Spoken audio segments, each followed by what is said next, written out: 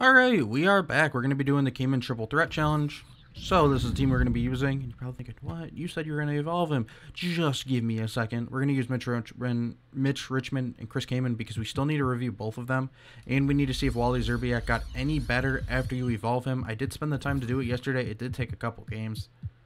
I didn't realize. I started doing some of Jared Sullinger's just because he has very easy ones, just two specific things score points and get rebounds, which him being center, it just makes sure that I make everybody get out of the paint and allow him to get the most opportunities to get that uh, the position. He to get rebounds because of position.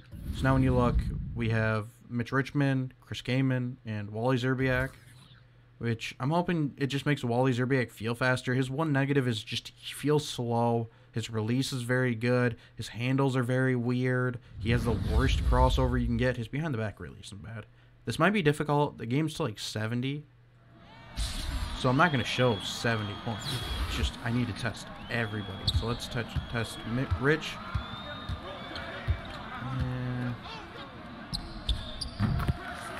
Um, so I know there, there's, I think there's an amethyst or a diamond or something. There's another Mitch Richmond card.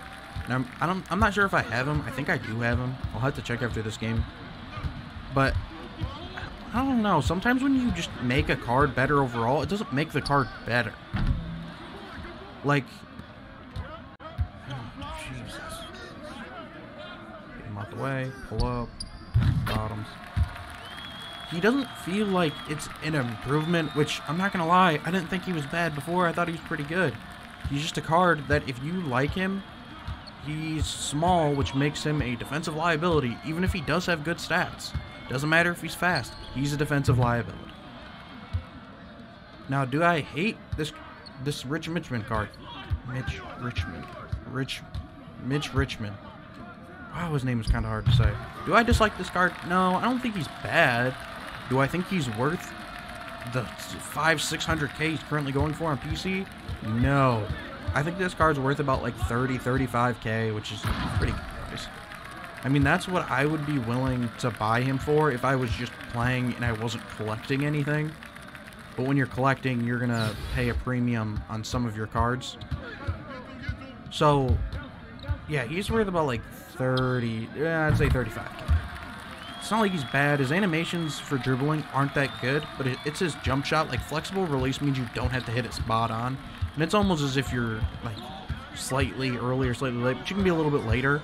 I mean, he does have gold clamps, but it's not. He's not going to do that much for other cards because I think he's a shooting guard first, point guard second. But if he's a a shooting guard small forward, I would highly never recommend you ever use him at small forward. I'll have to check after this game because, just like I said, he's not terrible. He's just to me, he's not like god tier like he's supposed to be for the price he's going for. To be honest, I think 2K is not putting up the normal amount of cards, so that's why the numbers for the cards are going for so expensive, because I highly believe if you play on PC, 2K floods the market with cards. It only is logical that certain packs, the high overalls are super common and other ones are super rare. Like the Dunkers John Wall. That card was going for a million the whole time it was in packs. Let's hit a three real quick, and then we'll go to somebody else. So I'm thinking 2K is deciding that they don't want us to get this card so that not a lot of people can get that Galaxy Opal play. But every card before this set was going for so cheap. Come on, Chris Kaman. Grab it. Now let's look at Wally Szczerbiak. Let's do his jab. Oh, I forgot why I don't like Wally Szczerbiak. His release is also slow. Okay, so Wally Szczerbiak is a free card. He's not a paid card. I think he was for last season. There's another card we were supposed to review, but we're not going to. I already pretty much said if, how he is, and that he's pretty good. So Wally Szczerbiak in previous years, his card was always really good, because he was a very, like, he plays kind of like how Kyrie plays in real life. You can get him to shift around a lot while he's dribbling, because his animations were really good. And his jump shot was very fluid. But this year, it's just he has like uh, mm, it's hard to describe. It's like mm, so Jerry West is in the game, he always has like god tier handles, but in real life, he definitely did not have the handles they were showing because at the time you wouldn't have been doing those moves. But I would say that they make this card play as if he was an old, like a 60s point guard who has very simple moves that don't do anything for the game. Like they're just he's just not very good. His dribbles are terrible still. I thought that maybe if you upgrade him it'll boost his animations or something. No, it didn't boost his animations. It gave him badges to be able to do stuff. Like his shooting is now better, but he didn't gain a boost to any of his shots. Like the badges are cool because he gets like Hall of Hall of Fame or Gold Dimer or something, and he oh, I need to test him. He's quick first step too. Yeah, I think he gets Gold or Hall of Fame quick first step, which would make a big improvement. But we're gonna have to test to see if you can feel the quick first step. Just yeah, you can definitely feel it. You can tell he has quick first step now and he didn't before. But I don't feel that it, it is enough to make that card good enough. They should have changed what his boosts were. I think they should have, one, increased his handles, two, made him faster. At least, I would say not like 10 or 15, I would say like 6 faster. At least make him like an, almost a 90, like an 89 or something. Something where he's quick, because a lot of cards are coming out that are fast.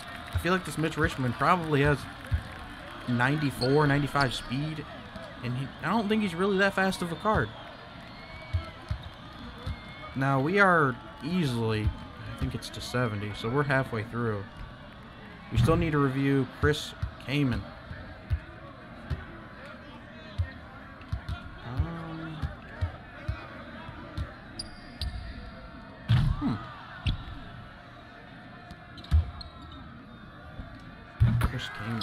I'm not gonna lie, I am just old enough to remember him playing, but I don't, like, I'm not, I wasn't the biggest fan of basketball even when I started watching basketball. I just like playing it.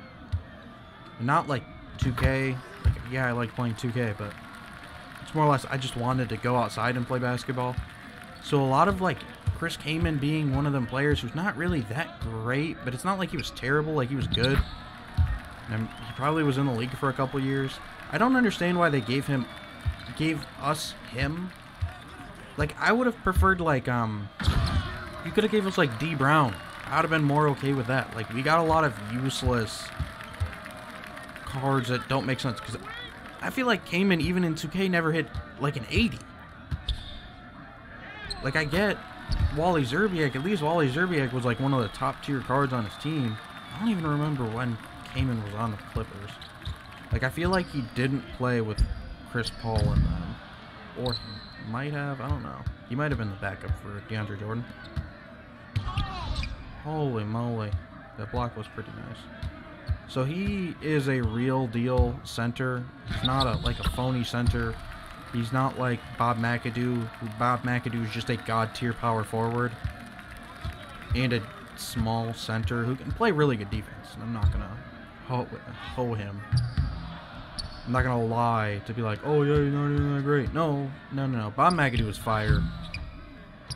I don't think you should pay 700k for him. No way. I think you should pay like 50, 60k is all. That's fair. 70? I'd say 70k is pretty fair for him. He is that good of a card. Now, Kaman, you had to lock in everybody, which I'm perfectly fine with. I don't care. I'll have to figure out a way to make some money probably in the next pack, which is fine by me because we're coming into a new season. For you guys, it's today, but for me, it's tomorrow. Obviously, you can compare how many days are left and be like, oh yeah, you, did this yesterday. Because I always edit a video, then put it out the next day just so it has time to do all the processing and everything. If I wanted to, I probably could post it today. But I'm not going to. So, is Kaman worth the amount of money you would have to put in to get him? Now, let's say you bought every card for what they're currently going for right now on PC. Now, we know Rich, Mitch, I don't want to call him Rich, probably because it's just a, a nicer sounding name. We know Mitch Richmond's going for about five, six hundred K. We know Bob McAdoo is going for 900k. So right there you have 16k. And who was it? Agent Zero is going for what was the cheapest we saw him? Let's say 70k. So we're at 100 one point one million six hundred thousand seven hundred k, and then let's say the both top the bottom two cards are both going for five k each, which is pretty fair. They probably now let's say they're going for six k together, so you have what what is it sixteen one one million six hundred thousand seventy uh seventy six for Chris Kaman. Does Chris Kaman play for some card that's worth a million coins? No. Not even close. Not even close. Is he worth a lock-in? Listen, if you're playing the game to collect cards, I would say go ahead. Go collect them. That's absolutely fine. If you're collecting, collect. I don't know how you're making your coins. If it's sniping, hey, you're smart. You gotta know the market. You need to know how much you can put a bid on a card, still be able to sell them or you need to know when a card for a buy now is significantly cheaper than the next card above it. Like if you could pick up, for us there's a lot of like, um, not a lot, but there's often cards that are just dead cards. They're just not up anymore. If you could find like two dead cards, buy both of them, sell one of them, and make a profit, you could wait and then sell the second one for another profit. I think a lot, I think the lower tier cards on this pack are pretty good. The mid tier, which is the diamond, was not that it's not that great. It's not like you're terrible, you just wasn't good. Which let Mitch Richmond take over. Like Mitch Richmond and McAdoo are fire, but not for the price that they're going for. Like, do I think they're both really good cards? Yeah. Do I would I use McAdoo? Of course I would. That card is God god tier. Would I use uh, Mitch Richmond? Eh, it depends. Do I need more three shooting? Like, that's really his thing. He's a three shooter. He's not really going to take it to the paint drive, which is a negative. He also has range extender, which means if somebody's not guarding you, you could just do a quick step back, does a bang out, and you'll be fine. So Kaman for me just wasn't worth it. Rich, M Mitch Richmond is kind of worth it, just not worth the price. And Szczerbiak you don't need to upgrade him because it doesn't make that much of a difference and you won't really feel it unless he is one of your favorite cards and you want to use him a lot. Like, Quick First Step does help, but it doesn't help him enough for you to be like, oh, yeah, he feels like he's worth it now. No, he does not feel like he's worth it now. When I do my Klay Thompson video, that video is going to be fun. I don't know what game I'm to do it over, but I'll do it over something. That'll be fun. That'll be fun. Ooh, I can do my... Okay, so I when I beat this game, I get... Um, I get the Amy card. And then I will open him right now because I'm going to have him and another card in a video together. So we're not going to open up that Galaxy Opal Klay Thompson yet. I'm going to show you guys a video of him tomorrow which will be day two of the season, which I will be hopefully grinding out some XP so I can get some of the new cards in that set. I haven't yet to get any of the Galaxy Opals from XP, but that's because nobody wants to know life every character that there is. And you have to buy everybody too, so if you're not buying everybody, you're not getting enough cards to be able to do the XP, to be able to do some of the stuff to get anything at all. Yes. Did he become better? Yes. Did he become better? He wasn't that good in the first place. Like, Brad Davis at least had a use where you could use him super specific. Oh, yeah, I forgot to check what what's his name was. Oh, I would not. No. Mm, I kind of changed what I would say about Richmond. Mitch Richmond. He's got a 95.3. He should at least have like a 97.3. I need to compare him to somebody. Let's just go like this. I swear I have like his amethyst card or something. Because I know he has other cards. I don't remember. Oh, right here. I don't know if he has a diamond, and if he does, I didn't get it. Like, is he better than his previous card? I remember when this card came out, people were like, "Oh my God, use Mitch, Mitch Richmond." Wow, his name is so like. I want to switch the letters for some reason. Like, it's not like this is a bad card. Just he would be better as a shooting guard, point guard, and not a shooting guard, small forward. Because yeah, he can dunk. His defensive stats are all right. His rebounding is pretty bad. Oh, he's slow. He is slow. Yeah, he felt slow.